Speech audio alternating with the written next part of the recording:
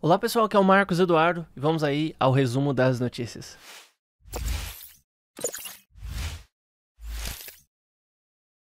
Uso em larga escala de criptomoedas é ameaça, diz BIS, o Banco dos Bancos Centrais, tá? Então a, a, grande verdade é que já faz tempo que o Banco das Compensações Internacionais, o BIS, fala aí a respeito dessa história. Ah, a gente tem que tomar cuidado com o Bitcoin e as criptomoedas porque elas podem abalar o sistema financeiro atual. Só que assim, será que realmente o sistema financeiro atual é algo tão correto, tão idôneo e tão saudável para a humanidade, porque sinceramente, os bancos estão extremamente alavancados, o Estado imprime dinheiro sem nenhum pudor.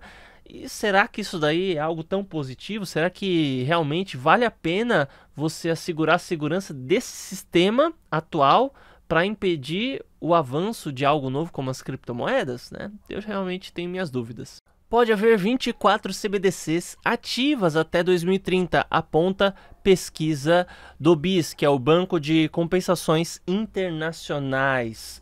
É, então, esse é aquele novamente assunto, né? Nova era, nova ordem e novo governo mundial que está por vir, que eu sei que tem muita gente que, que ama quando eu falo sobre isso, e tem muita gente que odeia, né? O cara pega e sai fora. Mas a grande verdade é que eu tô falando, gente, 2030 é uma data muito importante para essa elite globalista. 2030 é um ano assim fundamental para eles, né? Tanto é que tem a agenda da ONU. Deixa eu até colocar aqui agenda 2030. É uma agenda que busca implementar várias coisas que estão para acontecer aí no mundo em relação a vários aspectos, né? Então eles querem é, trazer o projeto aí de sustentabilidade, redução da fome, redistribuição da riqueza e tudo mais. E as moedas digitais, as CBDCs principalmente, e esse novo governo que está se levantando, tudo tem a ver com uh, esse processo que estamos passando agora, tá? Então eu acredito que essa última crise sanitária que a gente teve, é, não, não, não vou dizer que assim que foi armado, que foi criado do zero. isso não tem como saber, e quem diz que sabe está mentindo. Uh, isso é, foi uma coisa assim. É, se foi armada, foi armada para derrubar a economia mundial. Se porventura é só um problema que aconteceu aí no mundo, de fato é um problema que eles se aproveitaram para derrubar a economia mundial mundial.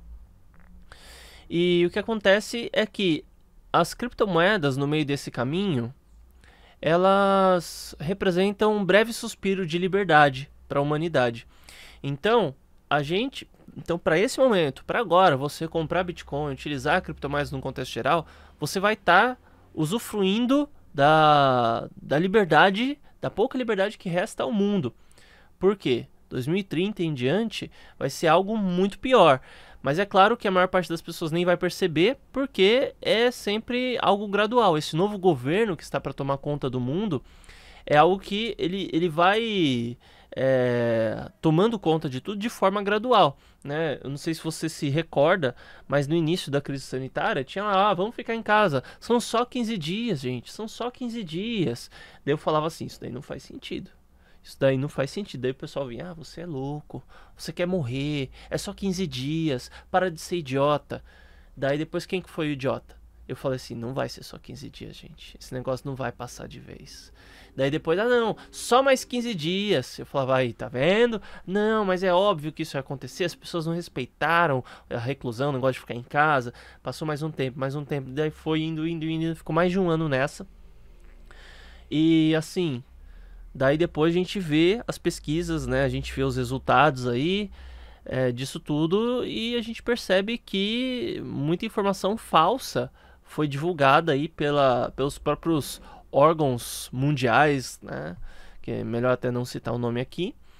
E quem foi o idiota é quem ficou aí se picando toda hora, é quem ficou aí usando tampão na cara, é quem ficou aí com medo de sair da sua casa Vidas foram perdidas, obviamente, não tem como negar isso. Pessoas é, sofreram lesões é, que vão permanecer até o resto da vida. Só que, ao mesmo tempo, muitas decisões mirabolantes, decisões absurdas foram tomadas nesse período. e a liberdade do indivíduo encolheu. Foi pouco? Foi pouco, mas ela encolheu. E o Estado novamente cresceu diante do indivíduo. Vieram as políticas assistencialistas, tanto no Brasil, nos Estados Unidos, como no resto do mundo.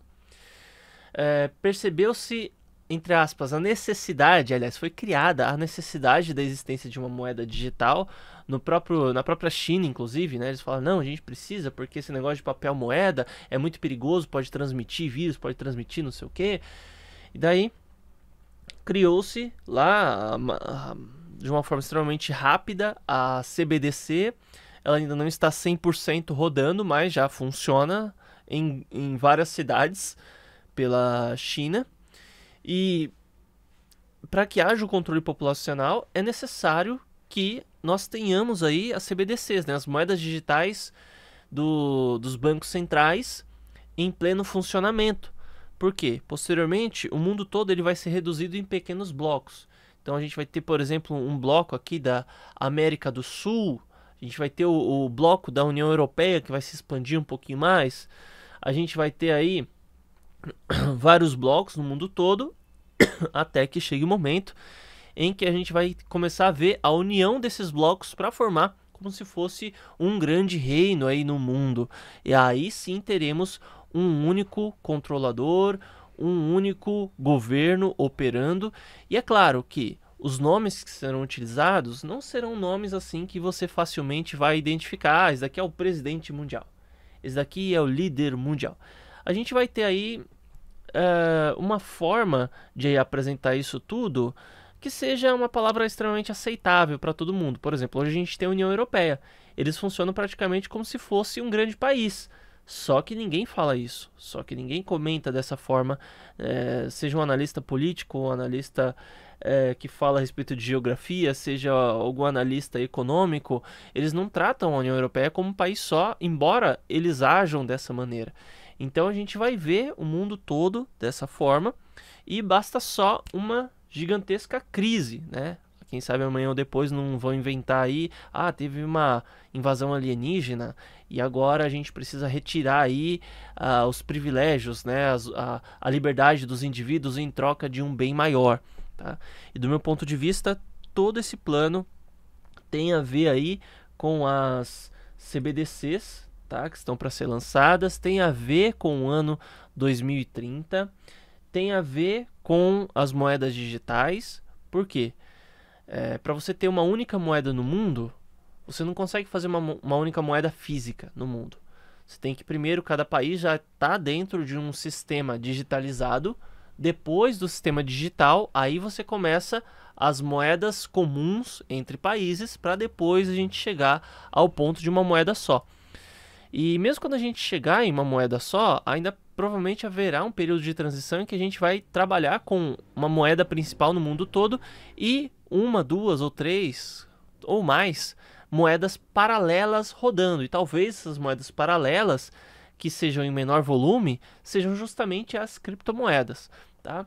Mas daí, esse daí é o meu ponto de vista a respeito de tudo isso que, que vai acontecer no mundo, né? Eu sei que muitas vezes fica até um pouco confuso a forma com a qual eu falo, porque eu não posso citar certos nomes, não posso falar certos termos, não posso falar certas coisas, então a gente acaba, eu acabo ficando um pouco limitado e às vezes a essência da mensagem se perde um pouco por conta dessas pequenas limitações aí de, de palavras que podem e termos que podem ou não podem ser ditos em determinados momentos, tá bom? E aí, você já utilizou algum produto Razer Pois bem, ó, a fabricante de equipamentos dos jogos Razer é hackeada, dados dos usuários e chaves de criptografia são vendidas, é, estão à venda online, de acordo aí com reportagem que foi é, realizada, tá?